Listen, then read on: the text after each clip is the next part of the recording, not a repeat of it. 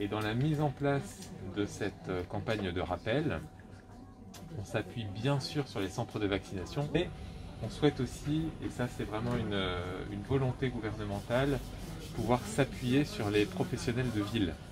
Donc les pharmaciens, les médecins et l'ensemble des professionnels de ville. Je fais partie des départements qui ont euh, très tôt été assez fortement vaccinés et donc mécaniquement on arrive avec une population euh, qui a eu sa deuxième injection il y a plus de 5 mois qui est assez importante. On fera quelque chose comme un peu plus de 2000 euh, injections au cours du week-end. Et puis d'ores et déjà on a enclenché la mise en place, l'ouverture de nouveaux créneaux pour toute la semaine prochaine dans le département euh, pour essayer d'atteindre le plus rapidement possible le rythme de croisière qu'on avait au plus fort de la campagne vaccinale au cours des derniers mois. Et donc tous les centres ont déjà ouvert des créneaux et mobilisé leurs équipes pour être à pied d'œuvre la semaine prochaine. On a aussi mobilisé le SDIS qui sera donc qui armera le centre de Juillan sur tous les samedis du mois de décembre et donc la campagne vaccinale voilà, ça, repart très fortement, mais ça repart dans les centres.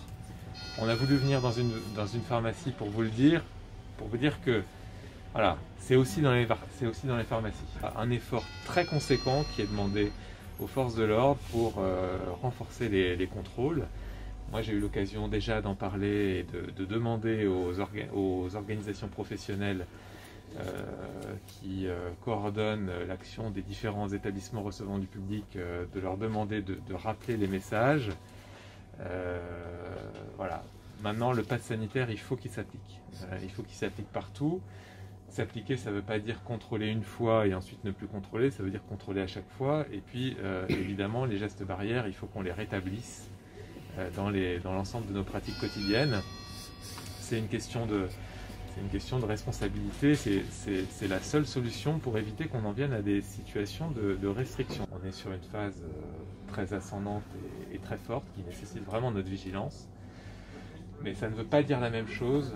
Aujourd'hui, 320 hier soir ne veut pas dire la même chose que 320 il y a 6 mois. Parce que l'impact sur les capacités hospitalières n'est absolument pas le même commence à y avoir euh, des effets sur euh, les capacités hospitalières, mais euh, les formes graves sont quand même beaucoup plus limitées. et on voit d'ailleurs que dans les formes graves, c'est principalement des personnes qui sont non vaccinées, même je crois exclusivement des personnes qui sont non vaccinées.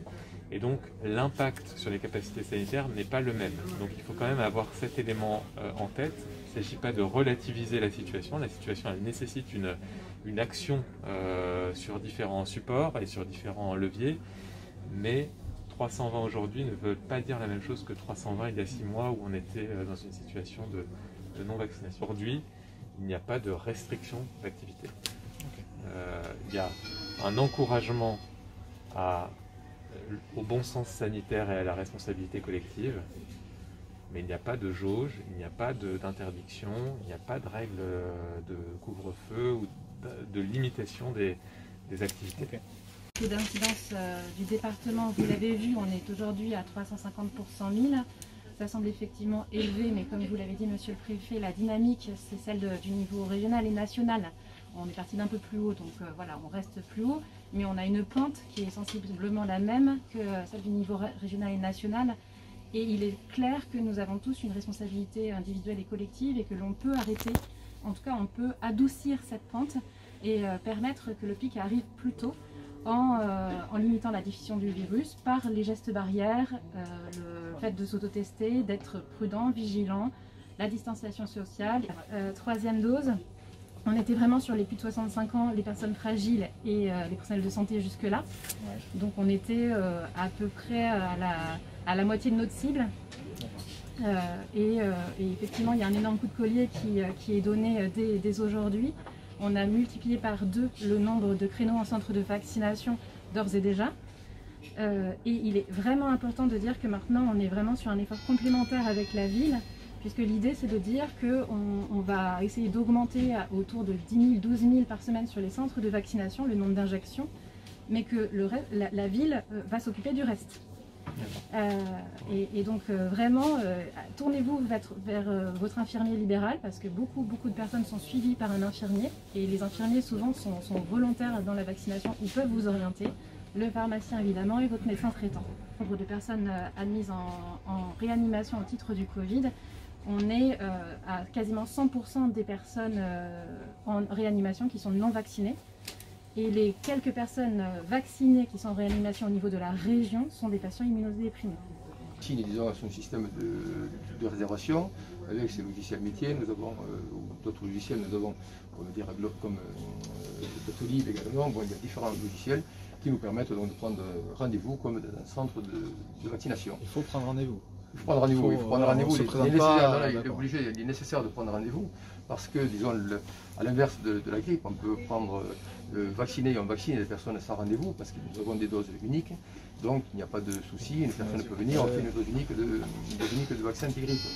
Le vaccin, euh, le, vaccin, euh, le vaccin Covid, donc on prend l'exemple du Pfizer, donc il y a 6 doses, il faut le reconstituer, donc bien sûr il faut perdre le moins de doses possible. Une fois reconstitué, il ne se conserve que 6 heures, donc il est important de prendre rendez-vous pour être le plus efficient possible. Les écoles, donc effectivement à partir du 29, il y a le, protocole un peu ajusté euh, pour les écoles primaires, enfin pour les écoles maternelles et primaires qui s'appliquent.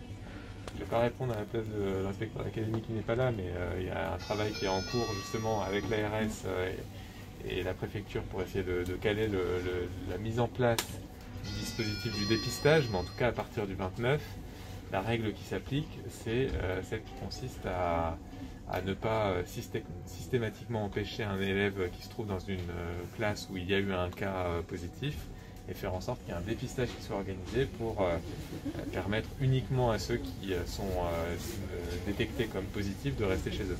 donc ça, ça sera d'application à partir du 29.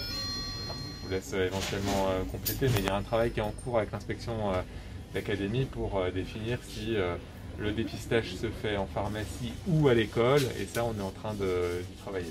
Depuis ce lundi, en fait, euh, on avait déjà un peu anticipé sur la règle qui s'applique euh, au niveau national, à savoir que dans tous les ERP qui soient soumis ou pas au pass sanitaire, le port du masque est rétabli. Donc ça, c'est déjà d'application. Il y a un travail, on a fait une concertation, on a, engagé une discussion avec les élus hier après-midi pour... Euh, discuter euh, d'éventuelles situations qui nécessiteraient une obligation de port du masque ponctuel, soit pour des événements, soit pour des, lieux. Donc à ce stade, on n'a pas de lieux particuliers euh, sur lesquels on, a avancé, mais on travaille avec les élus, on a proposé aux, élus d'y travailler.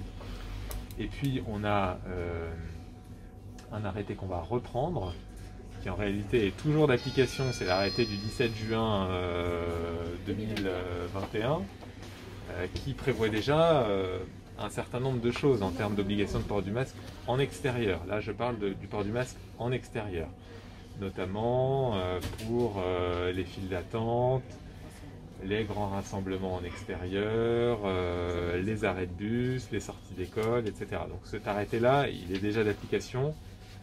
Bon, je pense que sans doute euh, c'est le droit d'erreur, il a été un peu oublié par les uns et les autres. Euh, et donc on va le reprendre pour, euh, pour faire en sorte qu'il soit d'application, mais donc il y aura bien un certain nombre de règles qui s'appliqueront pour le port du masque.